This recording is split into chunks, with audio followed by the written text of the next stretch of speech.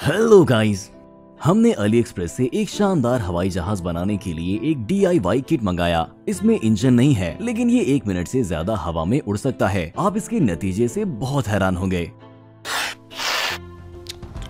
इस बॉक्स में एक बैग है, जिसमें हमारी ज़रूरत के लगभग सभी टुकड़े हैं। ये एक पॉलिथीन रैप है, जिसे आप एक आम प्लास्टिक बैग से बदल सकते हैं। फिर ये एक पतली लकड़ी की प्लेट है। जिसमें हवाई जहाज़ के फ्रेम और पंखों के लेजर कट वाले टुकड़े हैं। ये सिर्फ़ एक मिलीमीटर मोटा है। इसीलिए हवाई जहाज़ के बहुत हल्का होने की उम्मीद है। फिर हमारे पास ये सफ़ेद रबर बैंड है, जो ब्लेड को चलाएगा। और हवाई जहाज़ का पंखा बनाने और इसे जोड़ने के लिए कार्बन रॉड्स और सामान का एक छोटा बैग भी है। और ये वो वजह है कि क्यों हम आपको तफसील से ये दिखाना चाहते हैं कि हवाई जहाज़ कैसे जोड़ा जाता है। ये चीनी मैनुअल है। जिसका हमारे लिए कोई मतलब नहीं है। अली एक्सप्रेस की वेबसाइट पर हमें इसका अंग्रेज़ी अनुवाद मिला, लेकिन इसमें अभी भी बहुत कम जानकारी है। इसीलिए आप में से जो लोग इस तरह का हवाई जहाज़ बनाना चाहते हैं, उनके लिए इसे आसान बनाने के लिए हमें खुद ही पूरा रास्ता तय करना होगा। इस हरी प्रोटेक्टिव ट्यूब में तीन रॉड्स हैं। दो सबसे मोटे रॉड को हमने एक साथ जोड़ने की कोशिश की, लेकिन छेद बहुत छोटे हैं, और हमें एक एमरी स्पंज की मदद से इसे थोड़ा घिसना होगा। ताकि दूसरी स्टिक के उभरे हुए हिस्से इसमें फिट हो सके। अब सब कुछ ठीक है और हवाई जहाज़ की बॉडी का सामने का हिस्सा तैयार है।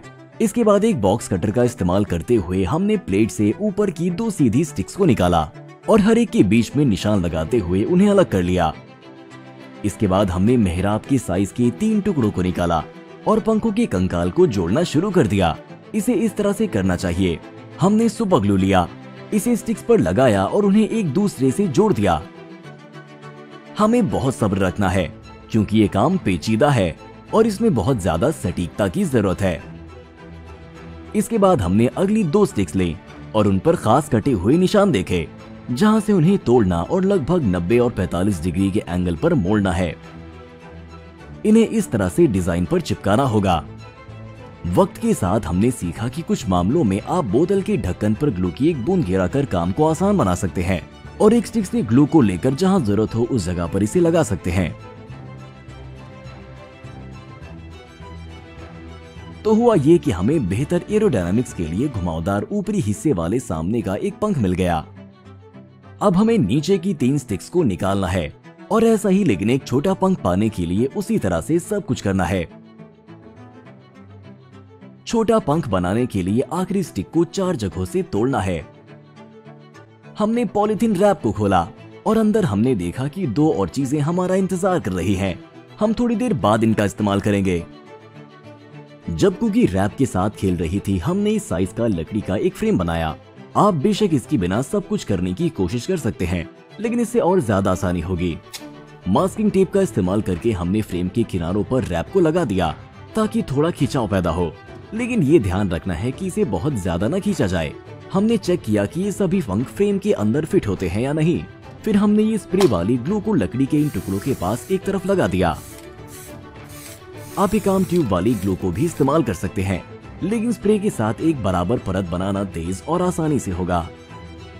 ग्लू के सूखने से पहले हमने सभी चीज़ों को रखा और उन्हें फ्रेम के ऊपर लगी हुई रैप से ढक दिया, तुरंत ही किनारों को धीरे से उंगली से दबा दिया, ताकि ग्लू अच्छे से रैप से चिपक जाए।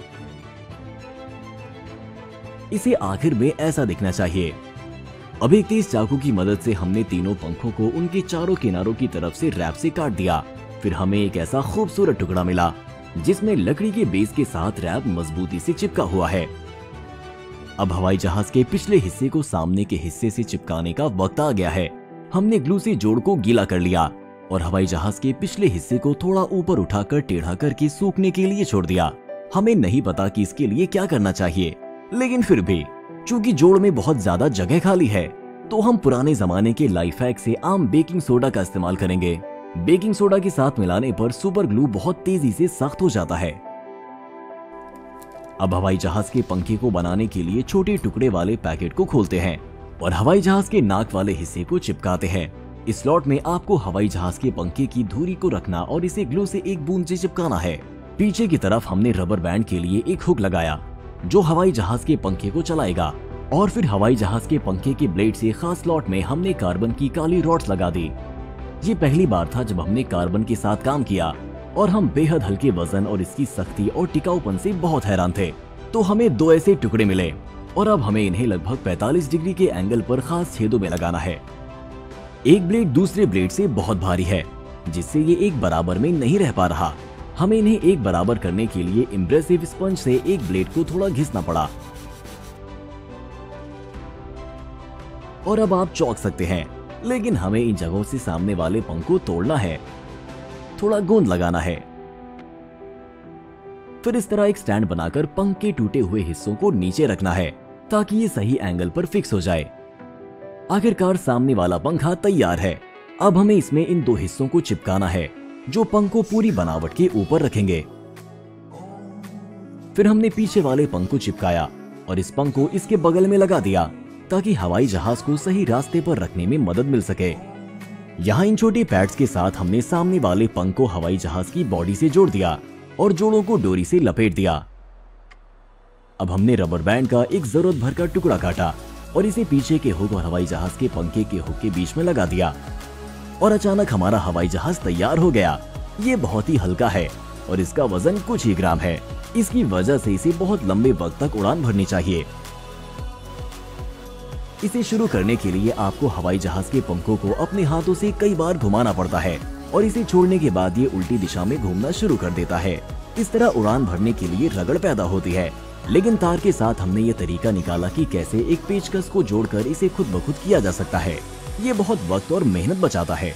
क्योंकि ये बहुत हल्का है, हमें इसे घर पर या बाहर बिना हवा वाले मौसम में उड़ाना चाहिए, क्योंकि एक हल्की हवा भी इसके किनारों को फाड़ देगी और इसके पंख तोड़ देगी। हमारे साथ ये पहले ही हो गया, इसीलिए हमें इसे ठीक करना पड़ा। लेकिन खुशकिस्मती से सुपर ग्लू की वजह से इसे करना बहुत आसान है। तो चलिए इसे उड़ाने की कोशिश करते हैं। वाह, ये सच में उड़ती है। काफ़ी वक्त तक हमने बिना हवा के मौसम में इसे उड़ाने की कोशिश करी। एक दिन हमने इसे एक प्रोटेक्टिव बॉक्स में ले जाकर जंगल में उड़ान भरने की कोशिश की। इस उम्मीद में कि जंगल में हवा कम होगी, लेकिन मौसम के अपने मंसूबे होते हैं और हवा के दिनों ने इसे उड़ाने की हमारी कोशिशों को लगातार बर्बाद कर दिया। हालाँकि ऐसा लग रहा था कि ये पूरे एक मिनट या उससे भी ज़्यादा देर तक उड़ सकता है और कुछ घर पर बने मॉडल जो हमने इंटरनेट पर देखे हैं, उन्होंने इसे एक रबर इंजन पर 40 मिनट से ज़्यादा देर तक उड़ान भरी है। ये बहुत ही शानदार लग रहा है। हम यकीनन अच्छे मौसम में फिर से कोशिश करेंगे और अपनी अगली किसी वीडियो में पूरी उड़ान दिखाएँगे।